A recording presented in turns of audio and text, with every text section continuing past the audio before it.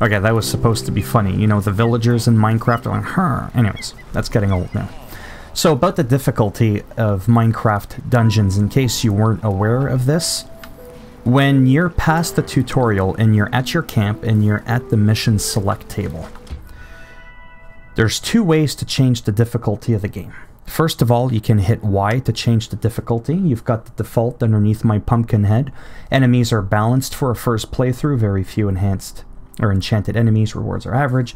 There is an adventure mode, not adventure mode, sorry, an adventure difficulty. Adventure mode is Diablo 3, forget that, where the enemies are hard to defeat, hit harder, new enemy enchantments, rewards are better, new gear and artifacts are available, and then you've got Apocalypse. Enemies are ultra beefy and ultra punishing.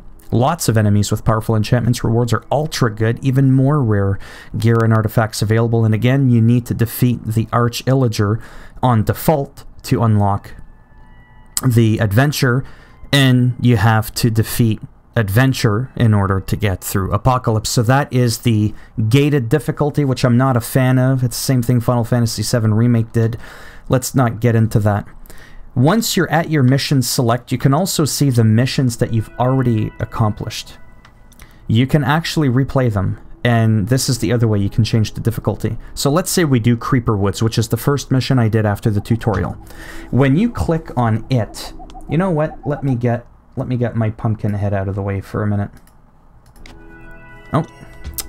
So what you're going to see at the left there is another way to increase the difficulty. Right now, we're on default 1, as you can see, under the name Creeper. If you tab over, you can do default 2, in which it tells you your recommended power should be 4, mine is at 2, and it's 1.7 times the difficulty, and the gear and artifact power is of a value of 1 to 9 tab over again, it's 1 to 11 gear artifact and power. This time it's 2.7 times the difficulty. Once I completed that mission and I went to be able to play it again, it allowed me to go to uh, default 4 and 5. These ones originally I could not choose until I uh, accomplished the mission. Anyways, that that's it. Now, how do you unlock the sixth one? I don't I don't really know. I think you just have to like play it on a harder difficulty, start the mission, whatever. I just wanted to share with you that there's two different ways to actually increase the difficulty. There's the base via the default button on Y, and then there's the actual mission itself in which you can toggle these values and it tells you how much more difficult it'll make it each time. And that's pretty much it. I don't want to make this video any longer than it needs to be. And uh, if you liked the video, well, I mean, you can give it a thumbs up. If you didn't like the video, go ahead, give it a thumbs down, and I'll just break that thumb off in your ass. And if you want to subscribe to the channel, that would be great. You do have another hand that can probably function, because the other one's stuck in your rear end. That would be fantastic, but if not, thanks for stopping by anyways.